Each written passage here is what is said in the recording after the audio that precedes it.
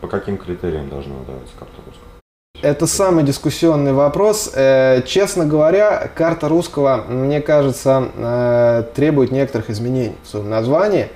Лучше, наверное, чтобы э, она носила название «Российская карта» или «Карта России». Мы действительно должны думать о том, чтобы вернулись не только русские, ведь поверьте мне, у украинцев русскоязычных, а таких тоже миллионы, у молдаван, у тех же, допустим, представителей других народов, татар, там, да, народов Кавказа, у них не меньшее желание у многих э, вернуться в Россию. И как-то отсекать по этническому критерию, я считаю, это было бы неправильно.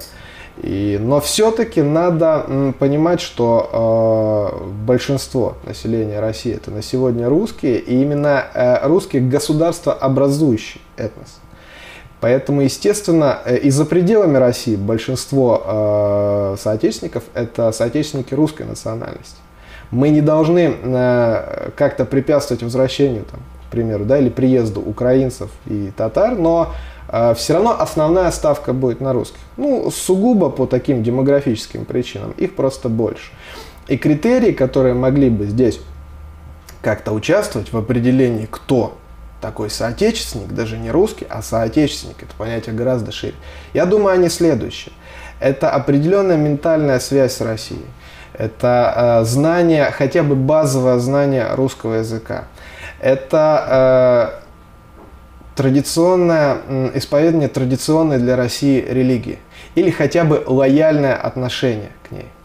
Это, безусловно, э, связь с Россией, возможно, родственная либо э, брак с гражданином России или этнически русским, там, или представителем другой национальности, характерной для России.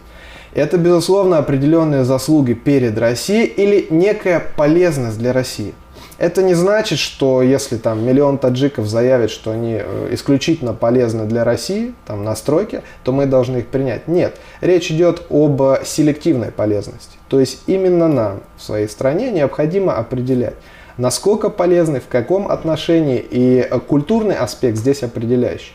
Поскольку важно выдержать вот этот баланс, межнациональный баланс в России, который сегодня уже частично нарушен из-за абсолютно нерегулируемой иммиграции.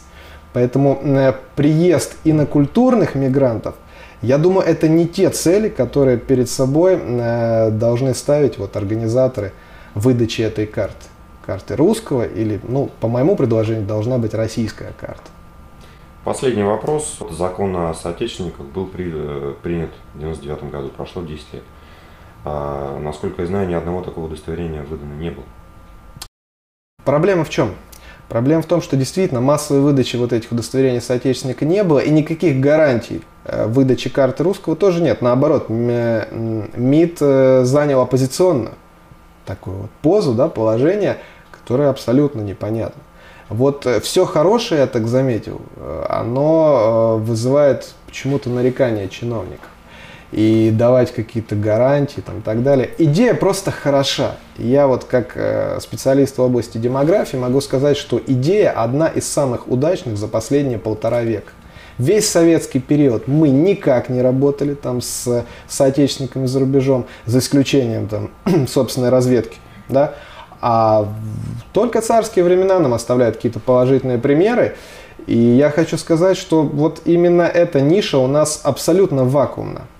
То есть никто никогда в России не работал с отечественниками. И если что-то русская община за рубежом, диаспора, делала хорошего, а такого действительно много, сколько выдающихся людей, тот же Петерим Сорокин, известный социолог, э, жили за пределами России и сделали много действительно. Вот это, по сути, достояние всего мира.